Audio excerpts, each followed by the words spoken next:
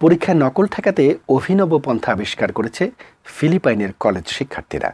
তাদের সেই উদ্যোগ সামাজিক যোগাযোগ মাধ্যমে রীতিমতো ভাইরাল।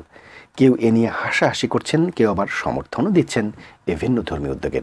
ফিলিপাইনের বিকল ইউনিভার্সিটি কলেজ অফ ইঞ্জিনিয়ারিংয়ের দৃশ্য। একাধিক ছবিতে দেখা যায়, পরীক্ষার্থীরা প্রত্যেকে বিভিন্নভাবে নিজেদের মুখ ঢেকে রেখেছে। কেউ রুমাল দিয়ে, কেউ ডিম রাখার বক্স দিয়ে, কেউ শপিং ব্যাগ এমনকি হেলমেট পরেও অনেকে পরীক্ষা দিতে দেখা যাচ্ছে। এর পেছনে একটি কারণ, পরীক্ষার্থীরা ঘাড় গোড়ালেও যাতে অন্যের উত্তরপত্র দেখতে না পারে।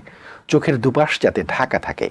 জানা গেছে, শিক্ষার্থীরা নিজেরাই এ বিষয়ে উৎসুক হয়ে বাড়ি থেকে এসব বস্তু নিয়ে আসে। এ নিয়ে কলেজের অধ্যাপক মেরি জয় মন্দানে বলেন, এটা সত্যিকার অর্থে বেশ কার্যকরী।